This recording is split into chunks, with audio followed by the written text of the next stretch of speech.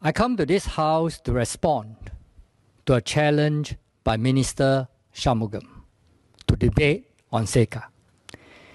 It has been puzzling me because it was in reference to his remarks made on a racial incident, which has nothing to do with CECA. The very fact that he linked the incident to CECA was both disingenuous and troubling. The Prime Minister also, in his National Day rally speech, claimed that those who questioned CECA, wanting to put Singaporeans first, had a strong racial undertone. Minister Wong also re- reiterated many of those accusations throughout his speech, his two speeches today. But when I asked Minister Shanmugam for instances where I've, where I've commented about CECA prior to accepting his challenge, he can't reply me. He went on to ask me a few other questions, but he didn't reply me. So these are clearly attempts by, the gov- by this government to put a label on those seeking more information disclosure and more objective discussion on CECA as racist and xenophobic. I think I'll leave that issue as it is. We have done all our explanation that we are not racist or xenophobic. At the end of the day, justice is in the heart of the people. The people will decide. Political labels are convenient to use to discredit someone, but they are not helpful for an open and objective discussion. By the way, I have also to ob- object to Minister Tan Leng words just now saying that PSP is attacking foreigners Maybe it's a slip of his tongue, but I have to correct that. All of us here today have one common objective, and that is to improve the job prospects and livelihood of Singaporeans. And I've stayed focused on that objective.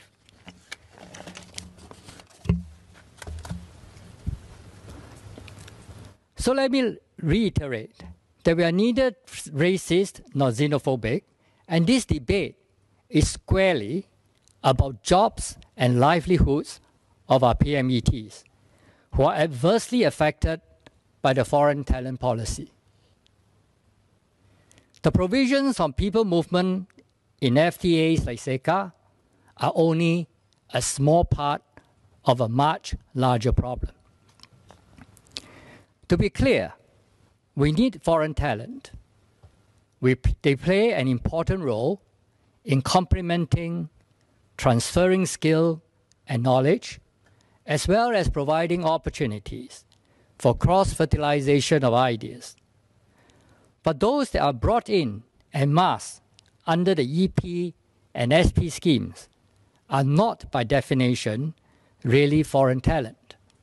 They are foreign professionals let in without quota, resulting in displacement of our own workforce.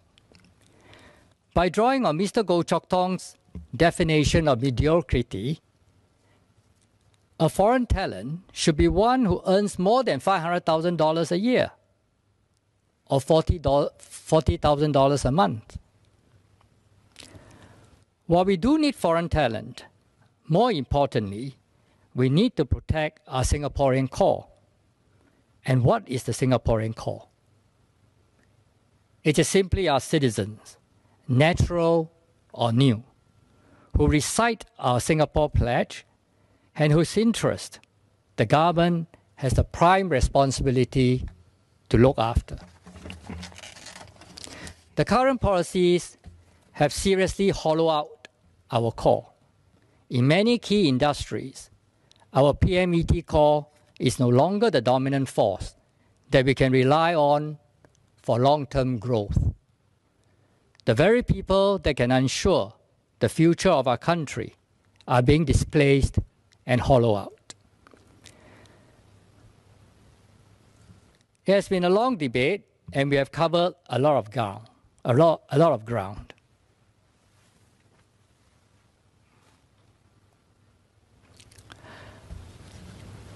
However, as expected, the government's stance on the causes and the severity of the problem we are facing, or the Singaporeans are facing, is very different from ours.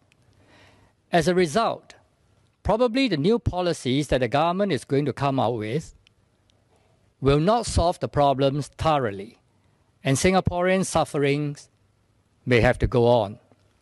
We might have to come back one year later again and debate on the same problem. Singaporeans would note that PSP has done our best to convince this government. Let me go through the differences between the government position and PSP position.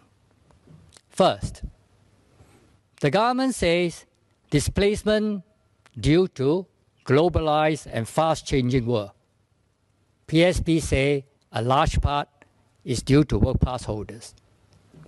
Two, the displacement problem is not serious, the government says. PSP says probably a lot more serious. Coming back to the 380,000 PME jobs the manpower minister had presented to us in the July 6 ministerial statement, we are trying to ask him, are you sure that this number represent a net job creation for Singaporeans? So there were some exchanges just now with my colleague Hazel Poa as well. There was no conclusion. But let me just share some numbers with you. 380,000 PME jobs created for locals, and that is for both Singaporeans and PRs. From 2005 to, two, from, to 2020. But during the same period, 600,000 PRs has been awarded to work pass holders. So the reclassification is likely to be a significant factor. But we don't know what is the number because we don't have the number from the government. On top of that, there were 400,000 university and polytechnic graduates during that period. So a million people seeking job versus 380,000 jobs created. So I don't know how to reconcile the numbers, but maybe in other future forums we can continue to discuss that. Number three, government say emphasis is on training and retraining Singaporeans. PSP say better prevent job displacement first. Let the foreigners do the skills transfer because once a person is displaced, it's difficult for him to find a new job. It is so easy to say, train again, take up the, the, the challenge and all that. The examples you quote, I'm sure, is a small minority of those Singaporeans who can really change to a new industry and learn new skills. Number four, government say distribute, uh, discrimination is sporadic. PSP say probably is structural. We have to look at it. Because the foreign work pass holders has been in Singapore in large numbers for the last 20 years. And they are a very influential force in the job market. So if you want to rectify the discriminative situation in the job market, that legislation may be too slow. Number five, foreign talent create jobs, say the government. But PSP say the work pass holders we are attracting are all average work pass holders. Where do they have the ability to create jobs? So they are just here to share our jobs. So the jobs done by them, most of it can be done by Singaporeans as well. So in that sense, Professor Hoon's lump of labor fallacy may not apply. Number six, And uh, member Mr. Patrick Tay also mentioned this that there's a lot of resistance from employers if we want to change the foreigners' policy. Of course, that's expected because, after all, they are profit seekers. But PSP say, how long can we kick the can down the road? At some point, we have to change. And this is a golden opportunity because now we can tell the employers, work harder. We can give you the quota now, but make sure you promise to scale down your people in three years' time. This is the opportunity to convince the employers to work together and we change the course of our economy. If not, our economy will continue to be stuck in a low value add position. Lastly, government say you send wrong signal to foreigners. PSP say as long as we Singaporeans are united, government and alternative parties all united and say we have to change course. I don't think foreigners can say much. Because that is the way we have chosen. And I don't think the foreigners are, foreigners are here just because we, don't, we give them work passes. They are here to make, they make a business decision and a strategy. There are many factors involved. Work passes are just one of the factor. And in fact, afterwards I will elaborate on, my, on our policy recommendations. We are not saying that you don't allow the foreign companies to come in with the number of work passes they want initially, but it must be transitional. There must be localization over time. We cannot allow them to continue to keep the same number of foreigners from the very day they come in. So as long as we are united, I think we can put the message nicely to the foreigners. After all, we can set up a fair consideration framework for foreigners. Why should a fair consideration framework for Singaporeans? That is something, as a Singaporean, I feel very puzzled.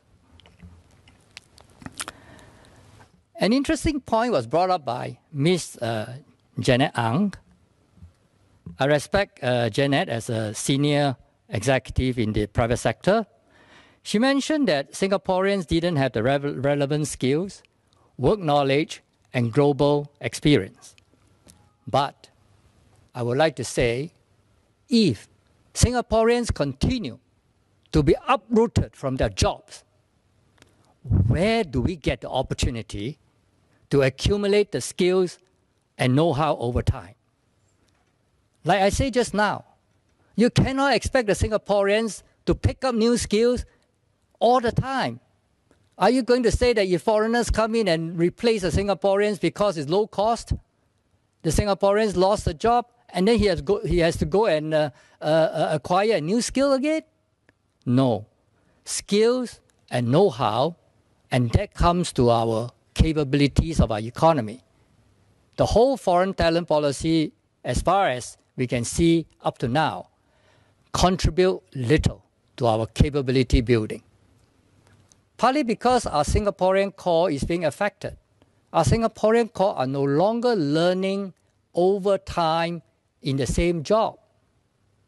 They'll be displaced. Another thing I asked, uh, I want to uh, uh, point out to Janet is that we hope the top managers in Singapore would also understand that and support the Singaporeans and not keep saying Singaporeans don't have this, don't have that, because they are now in, under a system that do not have the incentives to make them work hard, to make them work in the way we want them to uh, uh, take up the challenge and all that. Okay, those prospects existed in our generation, Janet.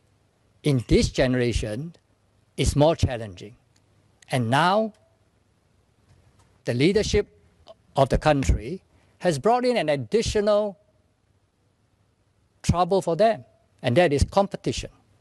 Not that we want to avoid competition, but as I've said before in my speech, the competition was not really fair to start with. So, other than the discriminatory structure that we talk about in the job market, actually our economy now is also in a very different operating structure, thanks to the 20 years of foreign talent policy. It will not be easy to transform. We know that. Like a GLC senior manager who is a friend, a very close friend, recently shared with me, ah, if you want me to overhaul my whole system now, it will be very high cost because it's totally dependent on foreigners now. But I think we still have to make the change. If together we have a consensus, we can rope in a lot of initiatives, a lot of resources, we can give each other time, employers, workers, but I think we need to make the change. The next I want to comment about is from Mr. Saktiandi, who mentioned that Singaporeans are now very active in the global financial markets. Well, I like to hear that. But I also like to remind him we Singaporeans have been in the forefront of the financial markets since the 1980s. I started work in GIC in 1986. Before that, many of my seniors, not just in GIC, but seniors in the financial sector in Singapore, were pioneers in financial innovations in New York. They go to New York and they make the innovation. Some of the innovations were interest rate swaps and all the equity and bond derivatives. I'm not so capable, but I set up one of the first derivative uh, equity derivative desks in Tokyo in 1987.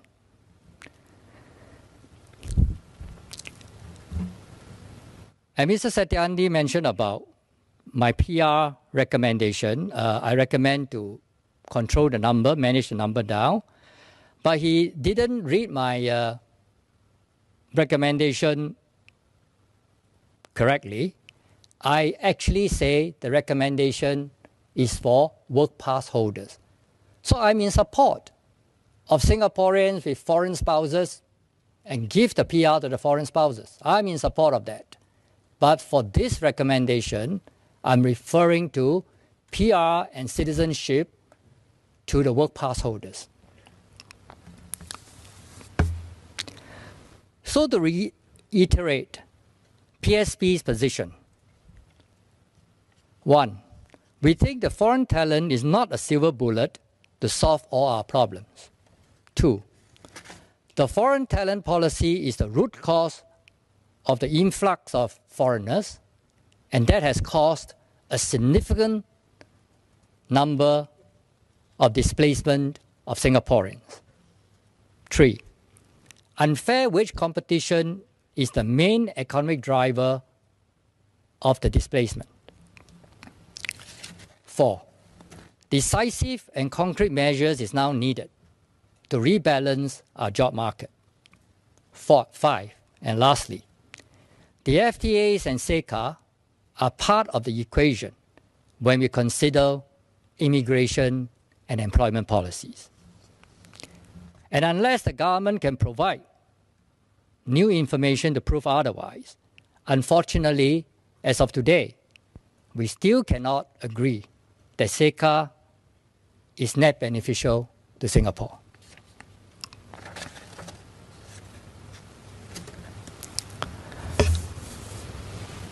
Next, I'd like to address the policy recommendations that I've made.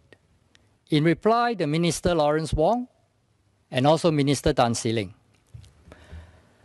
First of all, PSP is for an open economy and society.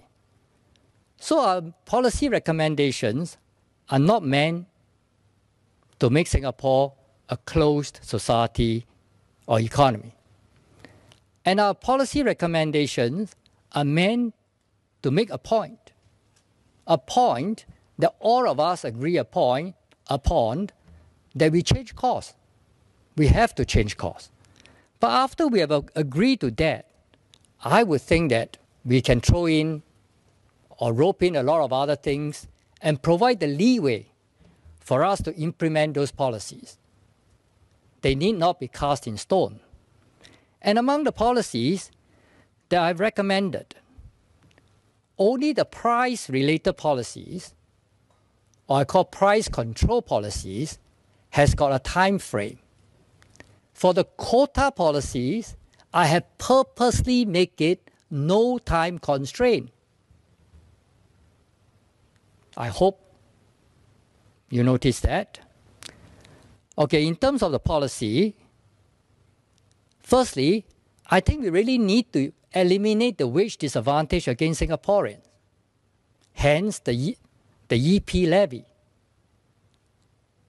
I don't think Minister Tan See Leng twice attempt to reply to my EP levy as a necessity to equalize the compensation package of the work pass holders uh, of the EP and Singaporean really answer the question. Because the 17% CPF employer CPF contribution is a differential. It's a direct differential. You cannot you cannot avoid that. And being an, an, an, an, an employer, that will go into his decision making. B. In order to attract more foreign talent, the government also agreed that the qualifying salaries should go up. So it's just a matter of how fast. My policy may be a bit faster. C. I did not put any time limit to reduce the headcount of work pass holders. Although I would like, actually today, we can come to some conclusion as to what is the number of displaced Singaporeans. So that becomes a target that we, we can work on.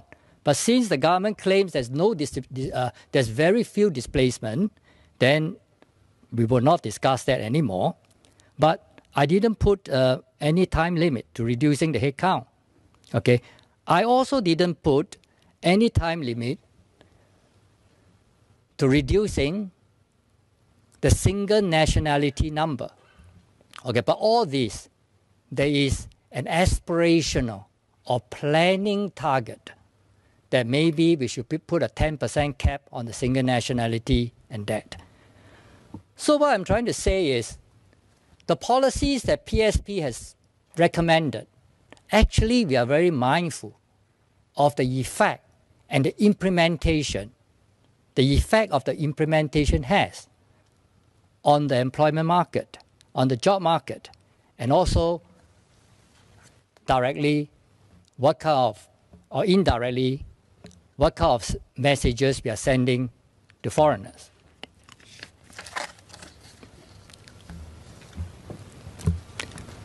Next, we also have to reflect how the problems of the foreign talent policy has been allowed to fester, develop, and exist for the last 20 years. It tells us a lot about the checks and balances in our governance system. In particular, we have to question the freedom of information, tripartite partnership, and the conduct of our government. First, freedom of information. Throughout this long running saga on the foreign talent policy, accurate data has been lacking, which has contributed to the large amount of fake news and speculation floating around. In my own experience of preparing for this debate, I cannot find the figures on intra corporate transferees of course, today Minister provided a few more years. But the thing is, why just give out piecemeal? You are the one who is generating the data. You should be putting the data in an organized format. Yes, we agree that some data may be sensitive, but please put it in an organized format for people to analyze.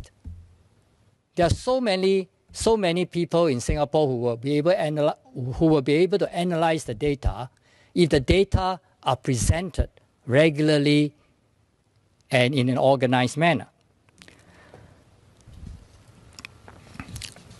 Like today, Minister Tan See Leng provided, a, a, a, I would say, quite a lot of new data, but the new data are not actually available for us to analyze without him telling us. So the way the government is doing is what I call guerrilla data, you know. Whenever they want to prove a point, they give you a few more data. You look at the, the chart that uh, Minister Tan See Leng has given us, below put labor survey report. That is available. After that, administrative data from the research department of MOM, MOM. So without the administrative data, we don't have the whole picture.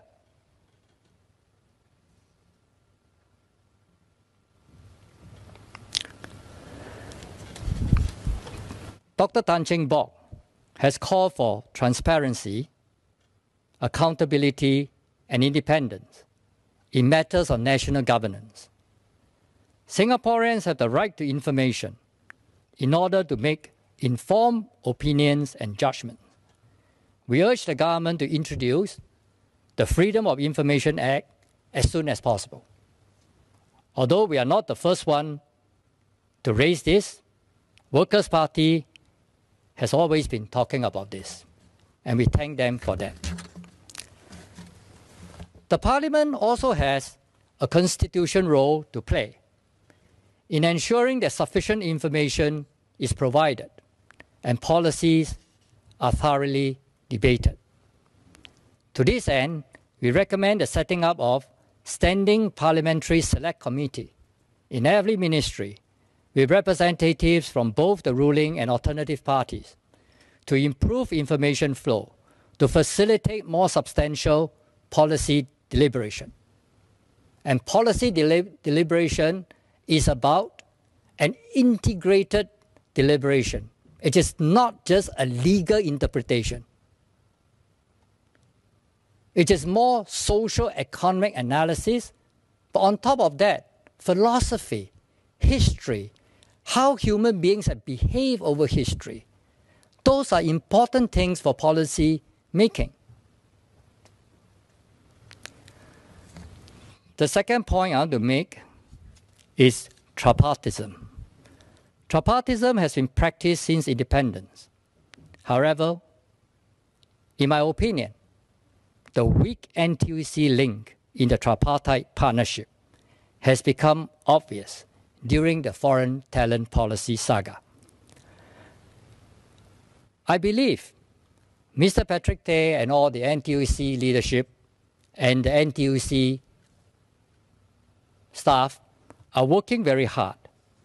But if the overall policy is pointing at a different direction, the results that come out of their hard work speaks for themselves lowly paid workers constantly leading, needing governmental financial support to get by, despite working full time, PMETs in their 40s and 50s finding themselves extremely vulnerable to discrimination, and now underemployment.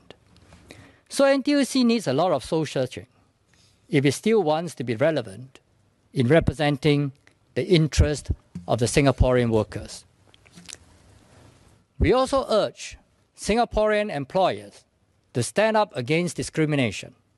They will have the most to lose in the long run, in the long term, if the current situa- situation leads to a radical change of our business culture and mode of operation without a robust, a robust Singaporean core. we urge employers to take the lead in rooting out discrimination in the job market so that we can build a competitive yet fair, multicultural, and multinational workforce with Singaporeans at the core.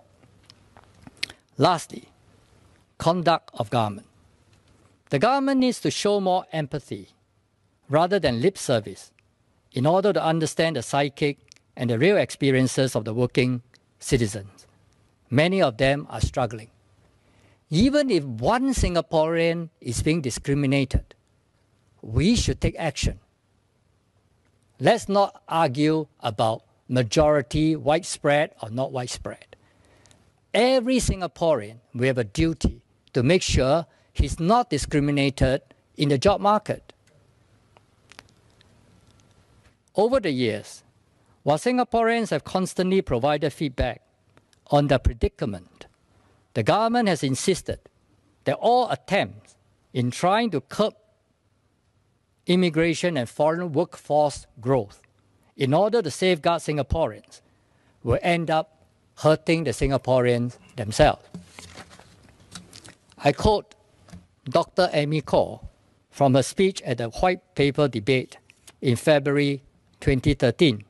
Quote, to curb immigration or foreign workforce growth in order to safeguard Singaporeans could, in an ironic twist, hurt the very people this reversal is intended to help. Unquote. I wonder what Dr. Amy Khor has to say now. Before the ironic twist has happened, the silver bullet unleashed by the foreign talent policy had actually shot down many Singaporeans' livelihood and may hit Singapore soon. Well, time is a powerful weakness. When Singaporeans' anxiety has persisted for the last 10 to 20 years, I think it is difficult to justify that the current policy, policy is not fraud. Honorable members of this House, contrary to the, contrary to the original promises presented in the Population White Paper, the foreign talent policy has created in Singapore an imbalanced population with a diluted national identity, an economy with inadequate technological innovation, and significant displacement of Singaporean workers. This has been a debate that many Singaporeans are concerned with and anxiously waiting for. This is not just a debate about a particular section of CECA, nor has it anything to do with racism and xenophobia. It is a debate about elevating the plight of our PMETs adversely affected by the foreign talent policy. It is a debate about the need to safeguard the Singaporean core, which is a pillar of our economy and our future. It is a debate about developing our very own talent by looking into new ideas to create opportunities for them. The PSP position is clear. We recognize the need to stay open as an economy. We are pro trade, but not free for all trade. We recognize the need for real foreign talent to complement our Singaporean core, transferring skills as well as sharing experiences. But we want a healthy balance of foreign and local workforce, achieved through sound immigration and employment policies. We want these policies to be designed and executed fairly, with Singaporean interest first. We call for urgent and concrete steps to be taken to alleviate the current problems. And we have given suggestions what need to be done. The Prime Minister has said in his National Day message that he recognizes the anxieties about jobs, that his government will make changes over time. But time is of essence. The changes must start now, before this dire situation gets to a point of no return. Many of us have heard or read about the story of Mr. Philip Wang, whom I happen to know. He was a senior vice president of a bank, but now has to drive Grab for a living. Please don't be mistaken. There's nothing wrong with driving a Grab, as it is an honorable job. But this is a good illustration of underemployment, which many of our PMETs are facing. Their skill sets could not could have been much better. Their skill sets could have been much better utilized. Yet they are forced into a no-win situation. There are many more sad stories as we discover through our survey of 750 PMET respondents. It pains us to know that we have our own talents that are not treasured. And the very government that's supposed to look after their interest has their priority elsewhere, maybe economic growth. Mr. Speaker, sir, let me close by reminding that democracy is famously described as government of the people, by the people, for the people. So let's not forget that it is the interest of the people that the members of this House and this government are elected to serve. There's nothing wrong in voicing out for them and championing for them. Singaporeans deserve better. The many Philip Wang out there deserve better. For country, for people. Sir, I beg to move the motion. Thank you.